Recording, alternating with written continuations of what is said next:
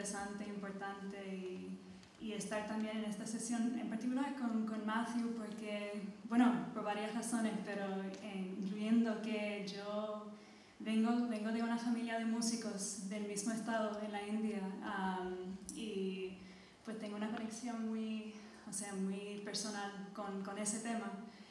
Y bueno, y soy boricua también, así que, así que es, es, un, sí, no, es una experiencia hasta ahora muy, muy, sí, muy bonita. Empezamos.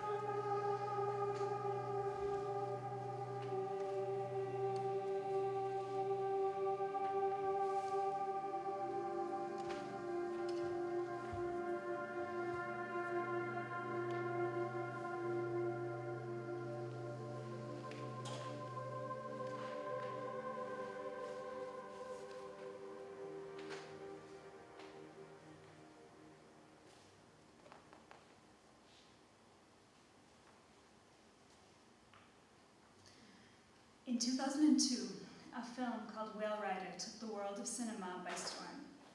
It told the story of Paikea Apirana, a Maori girl whose relationship to whales lies at the heart of her struggle to prove herself as the rightful leader of her tribe. The film brought to global audiences the cultural and environmental crises that threaten many of the world's islands.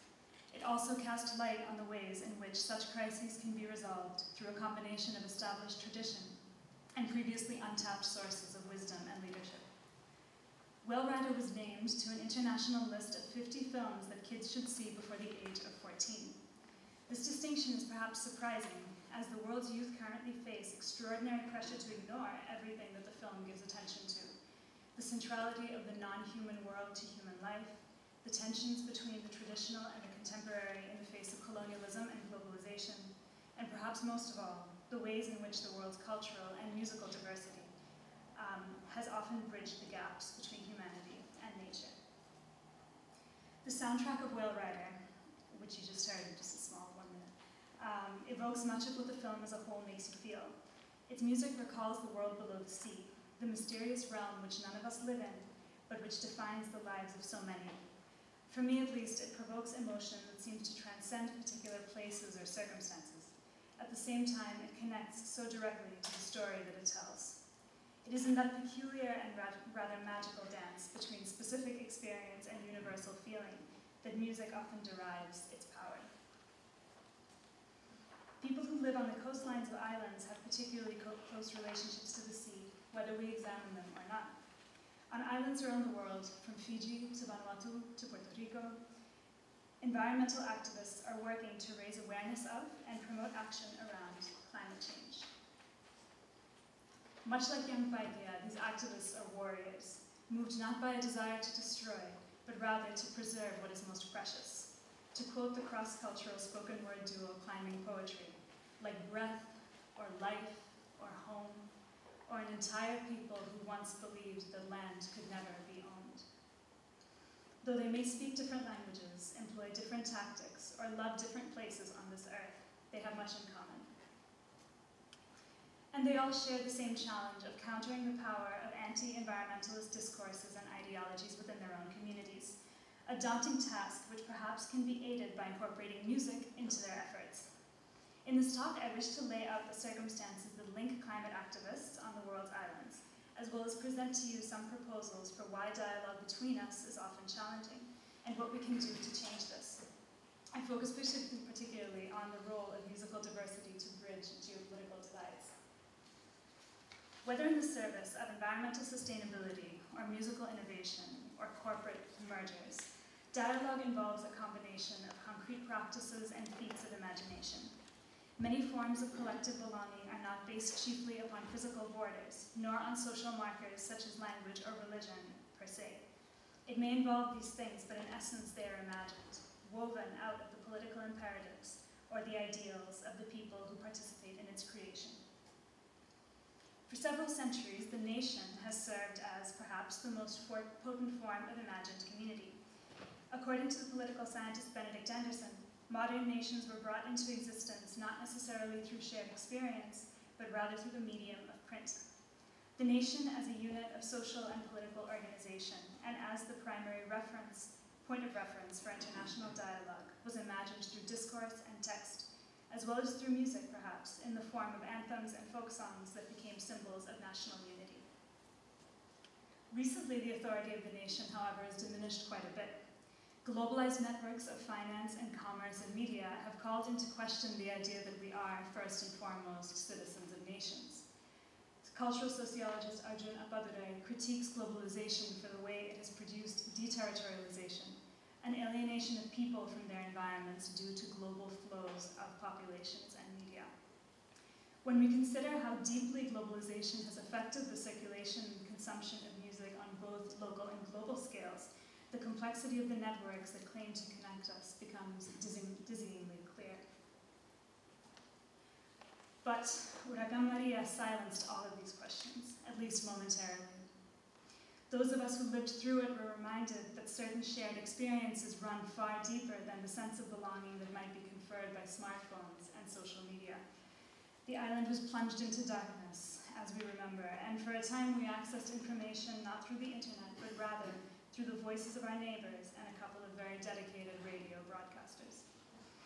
During that time, it became very apparent to me that while advertising might lead us to believe that we are linked, by, linked to others by the clothes we wear, the flags we fly, in fact, we are connected by environmental and political phenomena that both threaten our lives and hold the keys to our survival.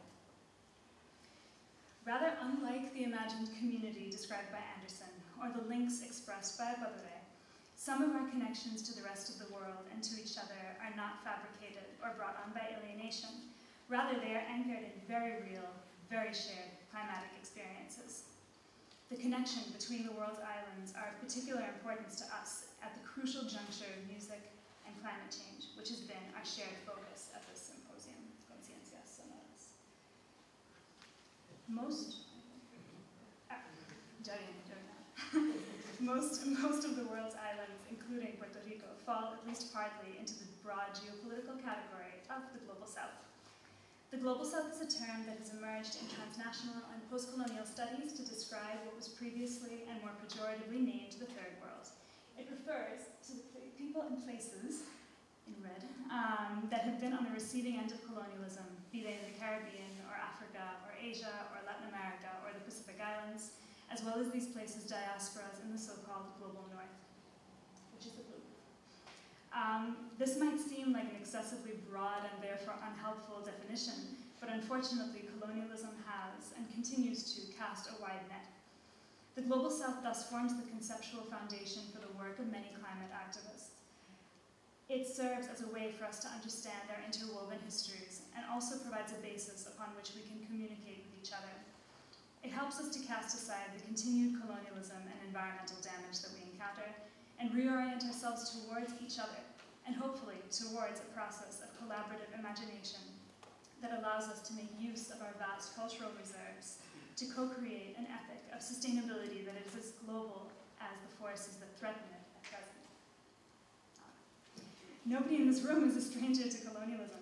We recognize its key qualities, the commodification of nature to make it suitable for consumption, unfair terms of trade, the valorization of a form of so-called masculinity that calls for the penetration of lands and of people, the negation of a spirituality that seeks well-being for humans and non-humans alike, whether manifested directly by colonial power or adopted locally as we're seeing now. These are some of colonialism's common features. We know this because we live it. Nor are we strangers to the ways in which social and environmental exploitation impact islands in particular. For centuries, islands have been regarded by the world's most powerful as strategically useful and culturally dispensable.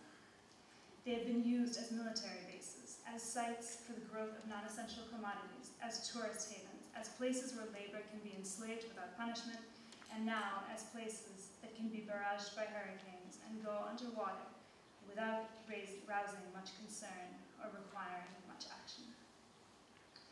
Though there are always exceptions, many of the world's islands have encountered the same forms of violence and of irony. Out of our fraught experiences with encounter have emerged nuanced understandings of the relationship between coloniality, environmentalism, and musical diversity. And yet, prevailing geopolitics continues to delegitimize these resources and distract us from the conversations that we must have with each other across borders which currently emphasize separateness over solidarity. The institutions of the global north continue, this is Oxford, the institutions of the global north continue to provide the primary reference point for students of environmental politics around the world. This dynamic is rather disheartening because it ends up discouraging students and activists in diverse regions of the global south from communicating directly with each other. This trend does not bode well for the future. It prevents us from feeling part of a global network of people who are in the same proverbial boat.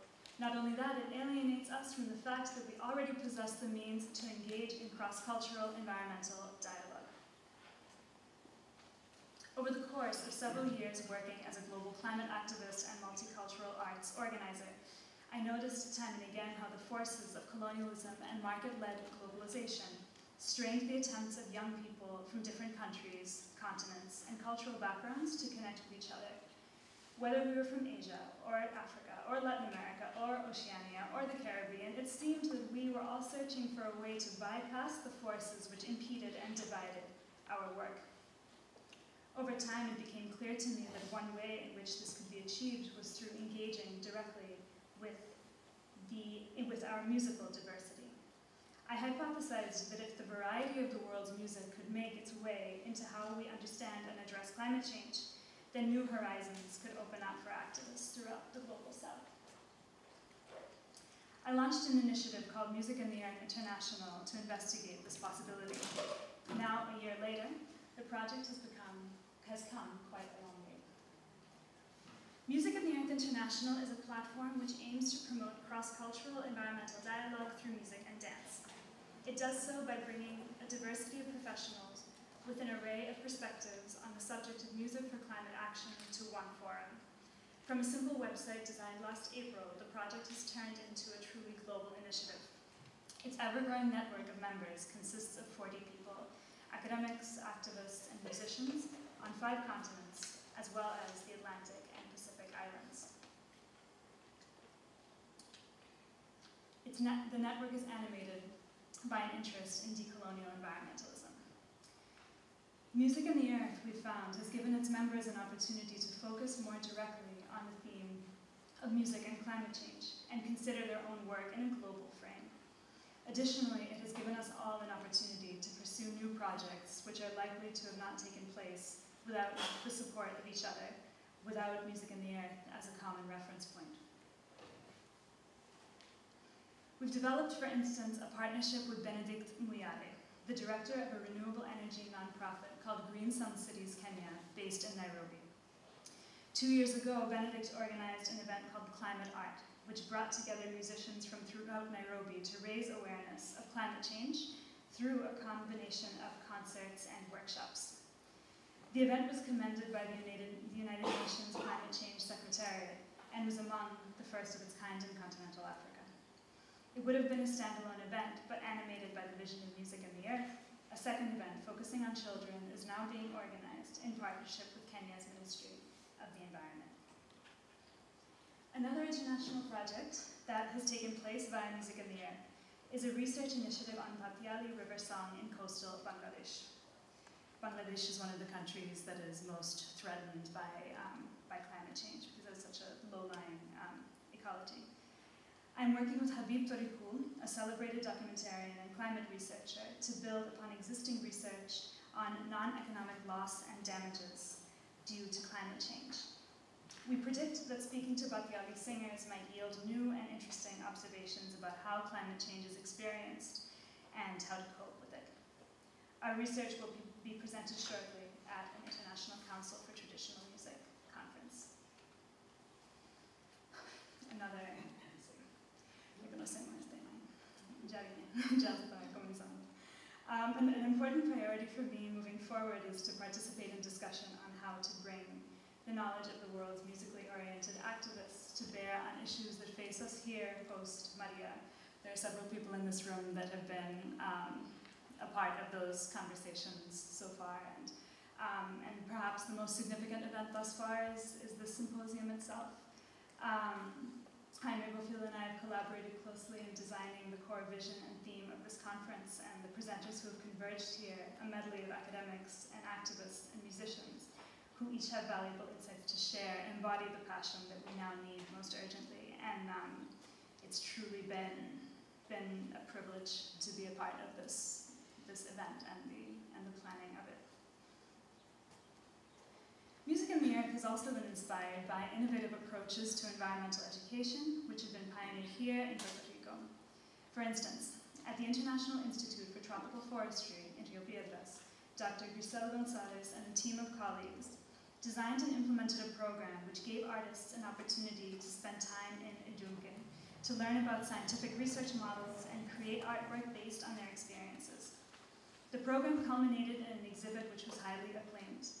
The curators made use of silence and sound to bring out the subtleties in the display, and the project helped to break down the barriers that many of us take as a given um, between the arts and scientific research. Next week, Music and the Earth will begin a program which brings us back to our original theme, the linking of environmentalists in the Caribbean and Pacific Islands through musical diversity.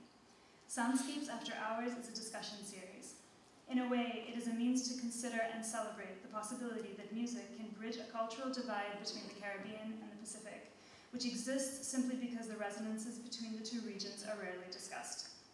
The program, which is offered in partnership with Nick, Professor Nick Faraclas at the University of Puerto Rico, will consist of discussions and active listenings to recordings of popular songs from both the Caribbean and the Pacific Islands.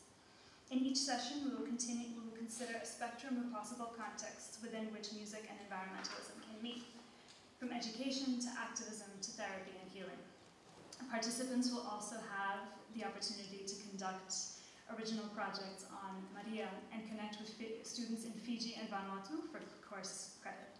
Um, if you're interested in participating still, see me, there are still some spaces um, Whale Rider ends with Paikea setting out to sea, guiding an immense canoe, oared by men who now hold her in high esteem. She has become a leader not necessarily through displays of physical strength, but rather through wisdom beyond her years. She's reinvigorated tradition by challenging its rules and has bridged the gaps between herself and the whales which are believed to be the custodians of the Maori's past. In many ways, she is what 14-year-old girls everywhere should aspire to be. At the intersections of geopolitical awareness, environmental sensibility, and the practice of music making lie provocative questions. Through encouraging collaboration between students and activists on the world's islands, which is a process I think that we can all be a part of, we may perhaps reach the shores of some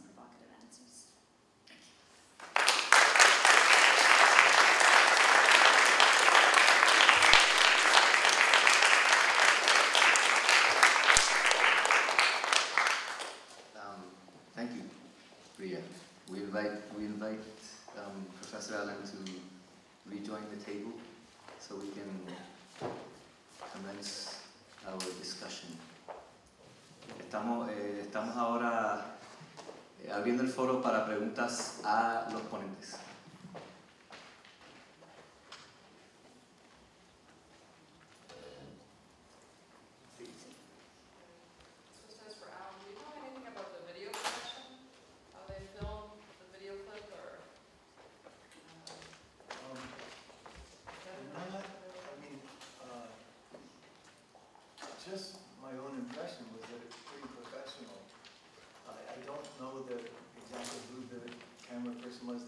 Krishna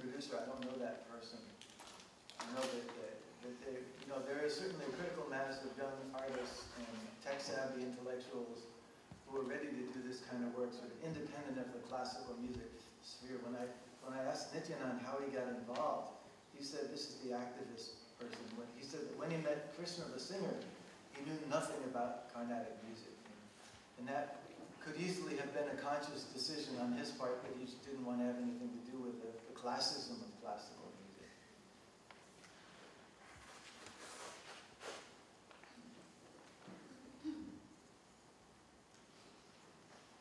Have have these performances inspired uh, radio people to join together and do something about uh, cleaning up uh, all these waterways towards the ocean so when the monsoon comes, all this water can flow through?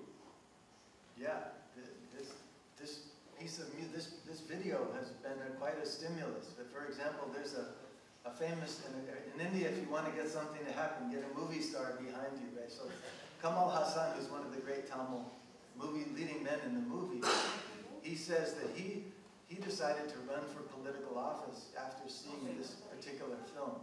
So the film itself didn't necessarily begin the whole movement, but it, it came in as sort of a midpoint in the movement because the Save Ennore Creek uh, collective was operating back before this video was made.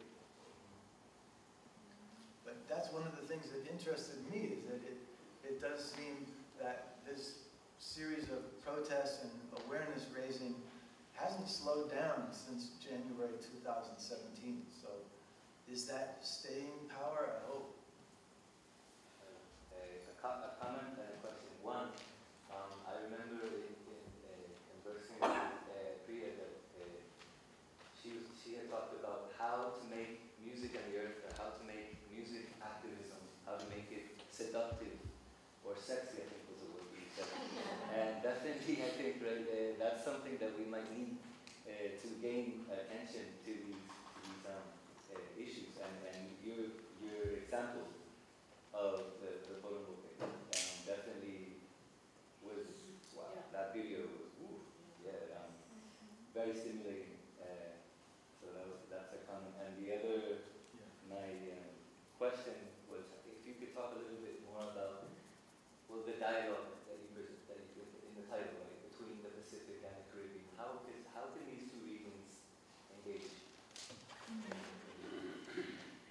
Um, I think that there are several ways. I think one is to, I mean, obviously education and, and awareness raising or whatever you know term you you know prefer to to describe that is is a very important piece of it. I mean, I think anybody who's participating in this dialogue, whether it's musicians or activists or you know, it, it, it, it's important, I suppose, to have a consciousness of the ways in which these two regions are historically related, and as well the you know the, the divergences. So I think the first the first thing is just um, if we're starting like from scratch, you know, with, with without that without a, a kind of da- daily consciousness of the link between these two regions, well, like a historical, you know, discuss, discussion about about um, historical resonances, which I kind of laid out a little bit here. You know, the way that colonialism has produced the same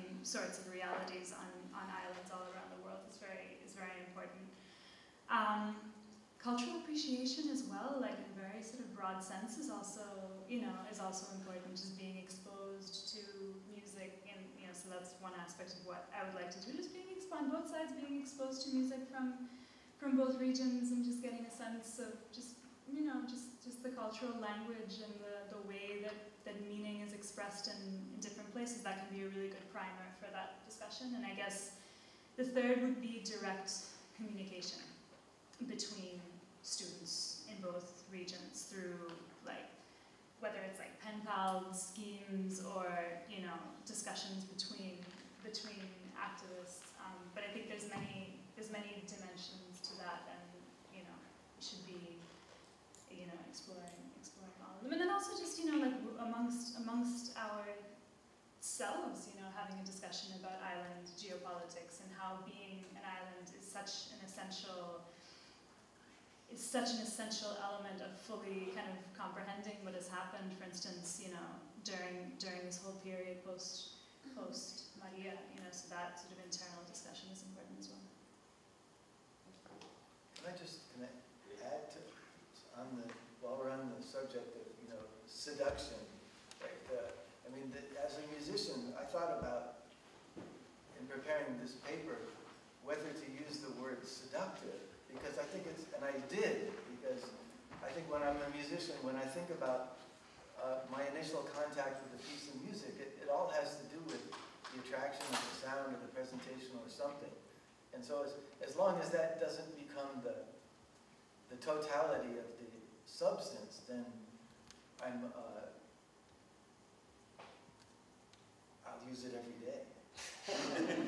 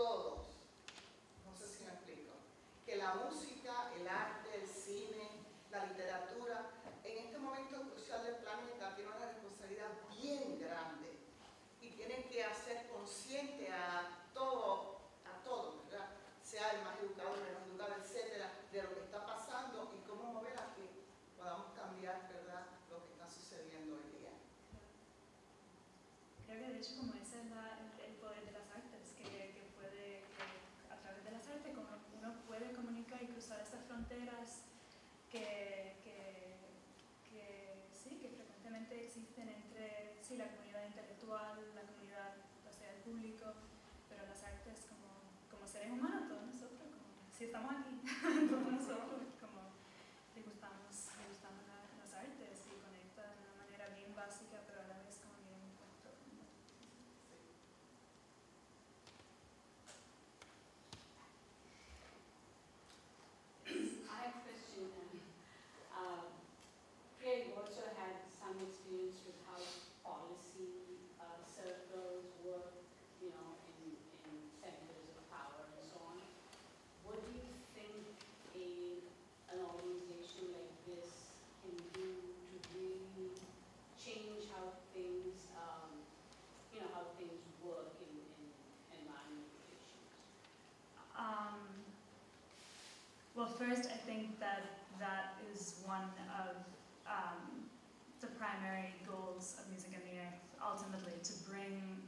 to bring the insights that come from music and the and, and the types of solidarity that can come from connecting over music to these policy fora, whether it's you know the UN climate conferences or the U.S. government, what's going on there, or you know to a variety of policy spaces. Um, so that is so that's one of the main goals, and how to do that is an open question. But one thing that I'm kind of seeing that gives me hope is that some of the people who are involved so far are, in a way, they're bridge builders between grassroots activism and um, and the world of policy. So, for instance, Benedict is um, actually many people who are involved fit that description. You know, Benedict is doing. He's an urban planner, and he's very, you know, he's he's the events that he coordinates are very public, and at the same time, he's collaborating on a daily basis with the Ministry of the Environment. You know, and has been in conversation with UN Climate Conference, and same with Habib in Bangladesh. He's been you know, he's a documentarian, but also as a climate researcher doing this kind of loss and damages, you know, research. He's um, he's also working within those institutions. So I think it's a really challenging thing when you look at these, but you know, you look at these these bodies of international policy, and they seem so impenetrable because the the discourse that continues to define them is very different from what you know we're talking about here. Um, but there are people, you know, who are like-minded, who are in in those spaces as well. So I don't. We'll see what we'll see how it goes, you know, and it's definitely an ongoing thing. But that's how it would. That seems how it would go. Because I mean, even a concept like non-economic loss damages, you know. That's a policy. Yeah, it's a policy. It's become like a policy subject. Yeah. you can think of it, you can. Mhm. Okay. Um, So another question, would- since New Orleans was mentioned, uh, would you be including some, you know, places like that in the global south? So even though it's in the United States, um, Sure. you know, with, with that southern frame of, you know, Yeah. or other places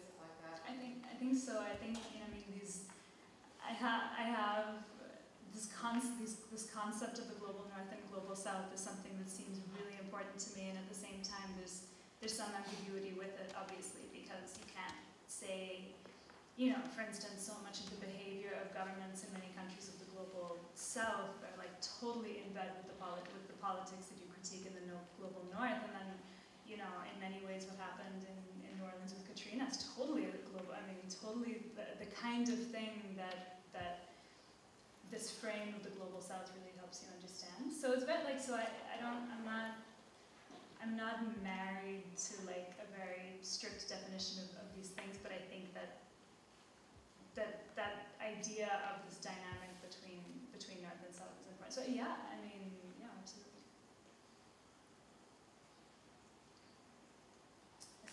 Uh, Kind of a, a question, uh, hopefully not pessimistic question, but, It's okay. uh, you know, as, as deco- as decolon, if I can say the word, as decolonized, uh, environmentalism takes place on a wider scale, uh, what can we do to keep colonialism from creeping back in? You know, Yeah, Yeah, that's a good it's- question. starting to, oh, hey, they're having success, oh, there's a profit to be made here, how, how would we recognize that?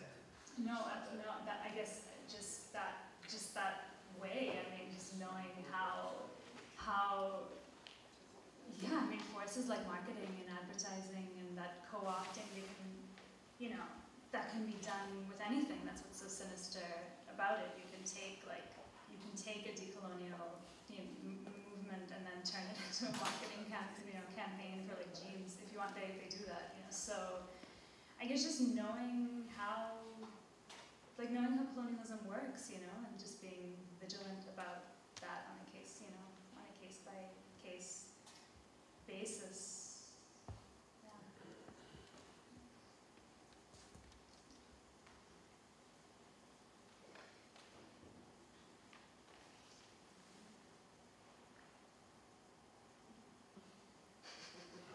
Tengo, tengo un comentario, I have one more, and I think it's relevant to, um, and it's how, how do we, I think we talk about climate change and that, that second part, the change, I think that's what we, you know, we're talking about, the changing of, of like, and I think definitely, I think we, we have two presenters here who have proven that definitely music, um, can, you know, can make that change, and when we were invited uh, when we were making the publicity for this event, uh, nos invitaron, we were invited to be there tonight on, um, on W, uh, WPR, which is a local station here, and we were interviewed by uh, people who are more in the popular realm of music, you know. Um, uh, so we were presenting this symposium, and right next to us, we had a merengue group, you know, doing their thing, the Los Cuatro they were, you know, they were singing, you know, and, and I think uh, that there is space, there's, um, you know, we, we have to,